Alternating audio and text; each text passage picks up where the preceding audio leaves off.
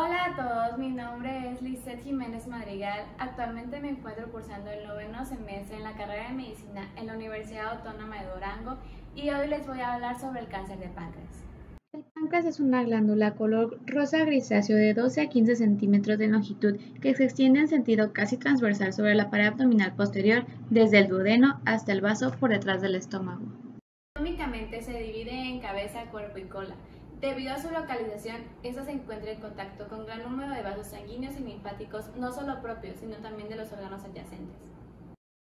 Dentro de su función tenemos que el páncreas va a estar constituido por una gran cantidad de lobulillos que finalmente van a desembocar en conductos.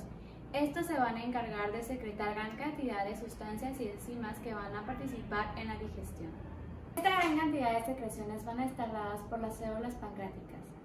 Los jugos pancreáticos van a pasar a través de un conducto secretor, el cual finalmente se va a unir a un, conducto común, del cual también derivan los jugos biliares. En estas estructuras lobulillares vamos a encontrar un conjunto de células denominadas islotes de Langerhans, los cuales van a construir al 5% de las células pancreáticas y se van a encargar de la síntesis de hormonas como insulina, glucagón y somatostatina sustancias van a pasar directamente al torrente sanguíneo y se van a encargar del metabolismo de los nutrientes, así de como mantener los niveles séricos necesarios de glucosa. El cáncer de páncreas es una de las neoplasias más letales. En los países desarrollados es la octava causa de muerte por cáncer. Esta va a tener una sobrevida del solo 5 al 7% en pacientes que ya han sido diagnosticados tras 5 años. Dentro de los factores de riesgo del cáncer de páncreas, tenemos que esta se da principalmente en varones fumadores. Dentro de su historia, la primera descripción de un cáncer de páncreas fue el adenocarcinoma ductal. Este fue dado en 1761 por Giovanni Morgigni en su estudio de las bases y las causas de enfermedades anatómicas. En 1882, Frederick Tenenberg realiza la primera pancreatomía exitosa debido a un tumor de cola de páncreas. En 1898, Alessandro Codivilla realiza la primera pancreatonectomía. Dentro de su epidemiología y factores de riesgo, como ya mencioné, tenemos que el cáncer de páncreas es la octava causa de muerte por cáncer en el mundo. Esta va a tener una incidencia de 46.000 casos por año, con una mortalidad de 40 casos por año en Estados Unidos. Dentro de sus factores de riesgo vamos a tener principalmente el tabaquismo, seguido por una pancreatitis crónica, obesidad y diabetes.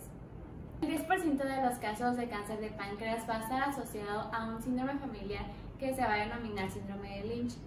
Esta patología va a ser más común en hombres con un 50% mayor que en las mujeres y va a tener una edad de diagnóstico de los 70 y los 80 años con una edad media de 71 años. Dentro de su presentación clínica tenemos que los tumores del páncreas se van a dar principalmente en cabeza, con un 60-75%, seguido por tumores del cuerpo y cola en un 20-25%. El cuadro clínico de un paciente con cáncer de páncreas va a estar íntimamente relacionado con la localización y extensión del tumor. En etapas tempranas vamos a tener a un paciente que va a cursar asintomáticamente. Posteriormente, en etapas avanzadas, vamos a tener al paciente con un múltiples síntomas de los que puede ir desde fatiga, pérdida de peso, vómitos, náuseas, dolor en espalda y cambios en el hábito intestinal. En su diagnóstico, los principales estudios que nos van a permitir la estratificación van a ser resonancia magnética, tomografía, ultrasonido y ultrasonido endoscópico. El primer estudio que vamos a utilizar va a ser el ultrasonido, ya que nos permite visualizar la dilatación de los conductos biliares en patologías obstructivas. Esto también nos va a permitir la visualización de lesiones sólidas y va a ser un estudio no invasivo. La tomografía dinámica de cortes finos de páncreas nos va a permitir la visualización completa de la glándula, así como también esa no se va a alterar ante la presencia de gas. Con este estudio podremos evaluar la longitud de la lesión, así como también la presencia de metástasis hepática y actividad ganglionar. Y evaluar también el eje porto mesentérico que nos va a permitir la valoración de la resecabilidad. La tomografía y la resonancia magnética van a tener prácticamente la misma sensibilidad. Esta va a ser de un 83 a un 94%, pero no hay evidencia de que esta mejore su capacidad de estratificación si se juntan. En el ultrasonido endoscópico, este va a ser un estudio más costoso e invasivo que igualmente nos va a permitir la visualización de la glándula, así como medir el tamaño de la lesión y ver la relación del tumor con estructuras vecinas. Los marcadores tumorales igualmente van a ser un estudio complementario de diagnóstico.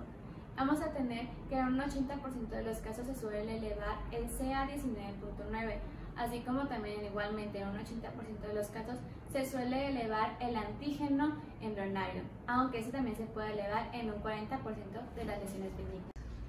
Tratamiento quirúrgico. Actualmente la cirugía va a ser el único tratamiento potencialmente curativo para el CA de páncreas pero sin embargo, solo entre el 10 y el 20% de los pacientes se encuentran una certificación temprana como para que esta sea una opción. La técnica quirúrgica va a estar potencialmente relacionada con el tamaño del tumor, así como la localización de este y la certificación del paciente.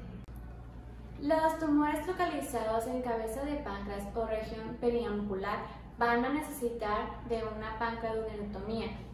La cirugía de Whipple es una recesión quirúrgica del anto gástrico, duodeno, vesícula biliar, colédoco, cabeza de páncreas, sección quirúrgica a nivel del cuerpo pancreático con bordes quirúrgicos libre y recesión de ganglios. Dentro de sus complicaciones está la fístula pancreática en un 16%, un retardo en el avancimiento gástrico en 23%, fístula biliar en 8%, hemorragia en 4% y colecciones intraabdominales.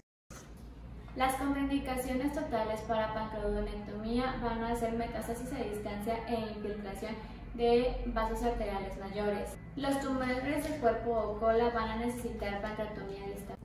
Las contraindicaciones totales para pancreaduodectomía van a ser metástasis a distancia, así como infiltración a vasos arteriales mayores. Los tumores del cuerpo o cola van a necesitar pancreatomía distal. La sobrevida de un paciente sin tratamiento adyuvante va a ser solamente de 20 meses, con un periodo libre de la enfermedad de solo 6 meses. Sin embargo, este puede ascender a 29 y 13 meses respectivamente ante la presencia de terapia adyuvante. La terapia adyuvante, el estándar va a estar basado en quimioterapia a base de gemcitabina y cinclofluoracilo durante 6 meses posteriores a la cirugía. El tratamiento para enfermedad localmente avanzada e irresecable va a estar dado por quimioterapia basado según el estadio funcional del paciente. Esta va a seguir los mismos esquemas de tratamiento que enfermedad metastásica. Los pacientes que tuvieron buena respuesta a quimioterapia o a quimioradioterapia deben ser considerados para cirugía, teniendo en cuenta que las tasas de supervivencia van a ser muy similares a las de un paciente que tuvo enfermedad resecable de inicio. Solo el 40% de los pacientes van a ser diagnosticados con enfermedad metastásica. El uso de terapia molecular dirigida. Aún en la actualidad, el uso de fármacos dirigidos ha fallado totalmente en modificar el desenlace. Tanto el uso de monofármacos como la combinación de estos con quimioterapia. Tenemos que las alteraciones moleculares que van a afectar principalmente el páncreas pasan la activación del gen KDRAS principalmente seguido por la inactivación de los genes C, T, K, N2A, el TP53 y por último el SMAD4. Y pues eso sería todo de mi parte en el tema de cáncer de páncreas. Muchas gracias. Hasta luego.